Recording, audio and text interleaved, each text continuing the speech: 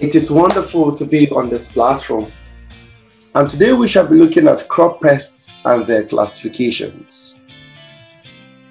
At the end of this lesson, the learner should be able to define crop pests, classify crop pests, classify and explain insect pests of crop, list and explain the methods of controlling crop pests. Definition of crop pests. A crop pest is any organism capable of causing damage to crops in the field or crop products in the store. Crop pests are basically divided into invertebrates, e.g., insects and eelworm, vertebrates, e.g., birds and mammals. Take note of this. Insect pests are the most important crop pests in agriculture.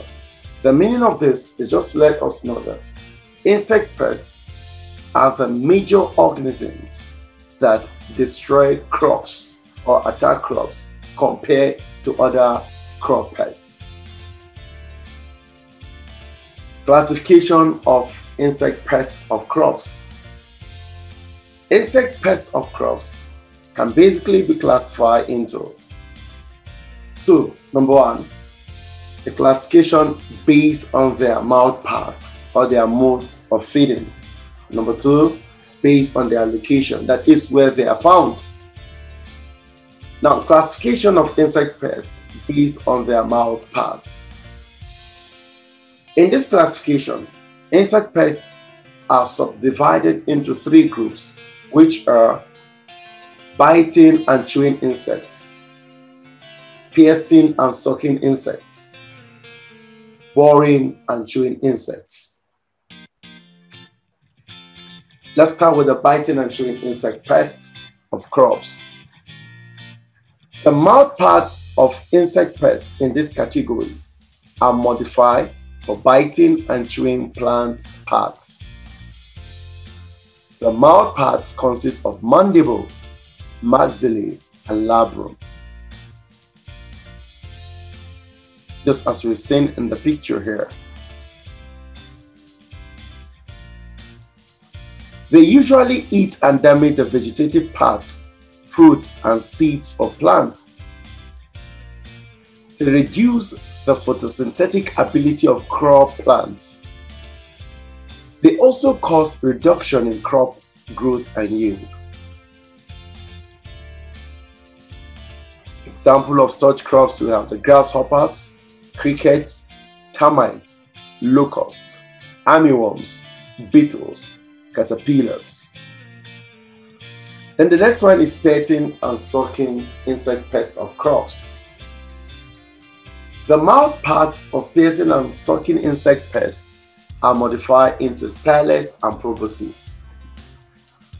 They pierce plant parts and suck sap and juice. The host created during feeding also serve as entry points for disease organisms. They transmit viral diseases through their piercing and sucking activities. Examples are aphids, mealybugs, scale insect, moth, cotton stainers, white flies, thrips, capsids, and many more. Then the boring and chewing insects. Their mouth parts are modified into rostrum. They bore holes into seeds, causing physical damage. This is how the mouth parts are. They reduce the viability of infected seeds. Larvae and adults of some moths and beetle feed on store products, grain and seeds, and turn them to powdery form. Examples are weevils, stem borer, bean or cowpea beetles, yam beetle, cotton bollworm, and many more. Now, we shall be looking at classification of insert crop pest based on location. This is further subdivided into field insect pests and storage insect pests. Let's look at the field insect pests. These are insects that attack crops on the field. Examples are grasshoppers, caterpillars, crickets, locusts, cotton stainers, and many more. Then the next one is the storage insect pests. They attack crop products in the store. They eat seed content and reduce it to powder. Weevils are field and store pests. They can be carried along with the crop products from the field to the store, thereby causing damage on the field and in the store. Weevil is a special insect pest of crop. They start attacking crops, most especially cowpea, that is beans, from the field to the store. Examples are weevils, bean beetles, moths, and many more. Now, other crop pests, that is non-insect pests. Other crop pests that have economic importance in agriculture, especially in crop production, are mammals, birds, and snails. Let's look at those mammals that are considered as crop pests. They attack crop plants mainly on the field, although a few of them also cause serious damage to store produce. Example, rats. They contaminate grains with feces and urine. They transmit diseases.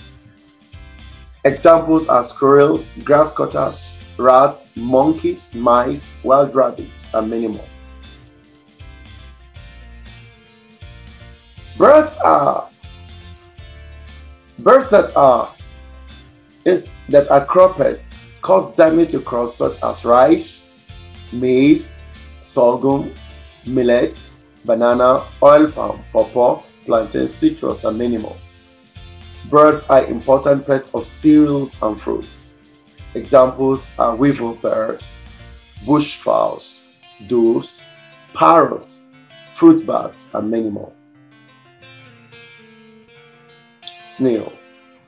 They feed on leaves of plants, especially seedlings and vegetables, thereby reducing their photosynthetic ability. Methods of crop pest control. Number one, we have the physical method.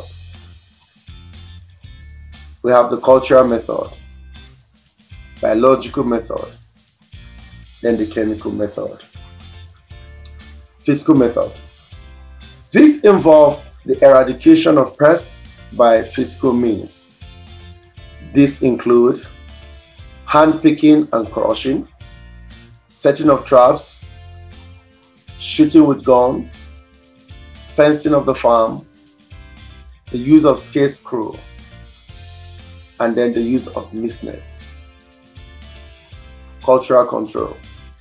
This involves the use of farming practices to control pests crop rotation, planting resistant varieties, bush burning, early planting or early harvesting, weeding, close season practice.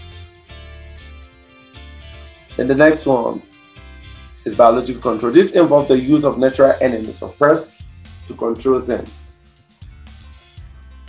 These natural enemies also help in keeping pest population under control.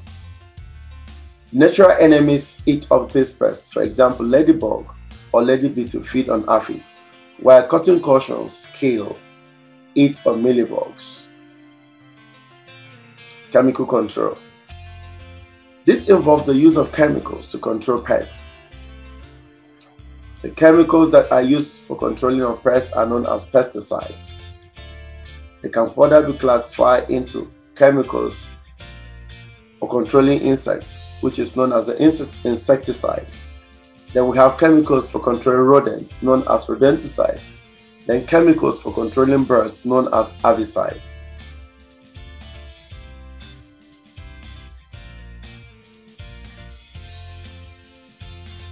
Effects or economic importance of insect pests in crop production. Insect pests destroy crops in the field through their biting, chewing, boring, sucking, and defoliation activities. Defoliation is removal of plant leaves. They cause reduction in the viability of store produce. Site of injuries by insects may, may predispose crops to disease attack. They increase the cost of production during the course of controlling them they render vegetables and fruits unattractive and unmarketable. Some are carriers of vectors of diseases. The profit of farmers are reduced. If the crops are unattractive or unmarketable, the farmer may not be able to attain to his desired profits at the end of harvest. They reduce the quality of produce either in the store or in the field. They generally reduce the yield of crops. Side effects of various preventive measures. The truth is that all the methods used or every method that may be used in controlling of insect pests may have side effects. Let's look at them one by one. Okay, let's start with the cultural method control. Now, the use of fire to kill harmful pests may result in destruction of other useful organisms Resistant varieties may adapt to the environment, causing resistance to be short-lived. Fire may spread to other farms if not properly managed. Use of fire may cause loss of organic matter of soil and destruction of soil structure. Chemical method control. Some beneficial insect and soil organisms may be destroyed. Pests and diseases may develop resistance. Chemicals used may be toxic to man and crops. It may leave undesirable residual in the environment. Some chemicals washed out through water, soil erosion may cause pollution to large rivers. Then let's look at the biological control method. New organism introduced may start attacking crops. Predators, expected to control others may rather feed on other beneficial insects. Introduction of new organisms may cause imbalance in ecosystem. Assessment. What are crop pests? Crop pests can basically be divided into how many groups? Listen and explain three classes of crop pests based on their mouth parts.